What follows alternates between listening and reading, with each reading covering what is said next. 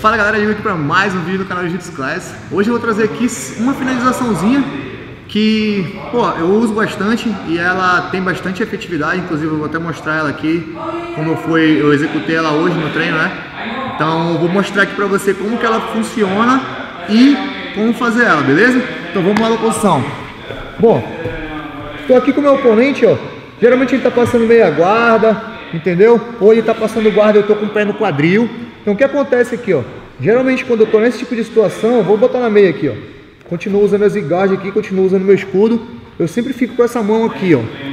Tá? Porque aqui eu tenho como quebrar a postura do meu oponente. Meu, meu oponente tenta subir, eu quebro a postura dele. Beleza? Então o que, que eu vou fazer aqui, ó? Vou entrar a mão lá dentro.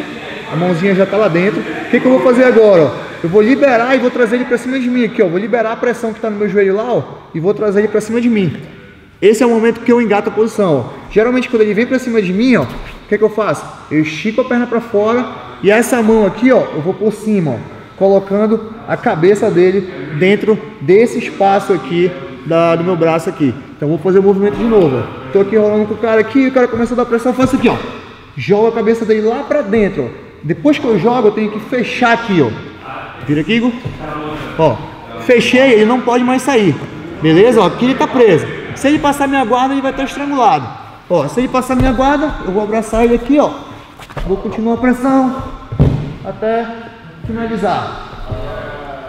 Se ele não passar, eu termino o estrangulamento como no vídeo, ó. Joguei a cabeça lá dentro, fechei, vou só com a mão direita lá, ó. Vira aqui mais, Igor. Vou só com a mão direita lá dentro e vou abraçar a cintura dele, dando a pressão.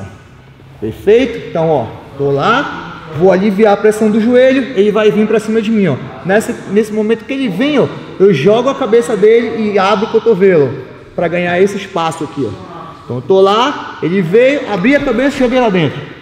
Agora eu posso só dominar o ombro, dar a pressão, posso abraçar a cintura e dar a pressão e finalizar. Perfeito? Eu levei esse estrangulamento quando eu era faixa roxa Primeira vez que eu perdi na faixa roxa, eu levei esse estrangulamento de igual rodada. E até então, eu nunca tinha perdido, né? Eu fiquei boladaço, puto da vida. E fui tentar entender como que isso funcionava. Fui aprender, fui procurar na internet, achei. E desde lá eu venho usando, venho usando nos treinos, sempre com posições de variação diferentes. Mas basicamente o movimento é esse, o estrangulamento é esse. Então espero que tenha ajudado aí. Espero que dê para colocar no seu jogo. Se não der, tente uma variação de outra posição. E é isso aí, beleza? Se ainda não me segue no Telegram, galera, segue lá. Estou postando vídeo diariamente agora no Telegram. É, no Instagram vou voltar a postar essa semana. E se ainda não baixou meu e-book, link tá aí na descrição. E vamos que vamos. Foco, espírito determinação. Os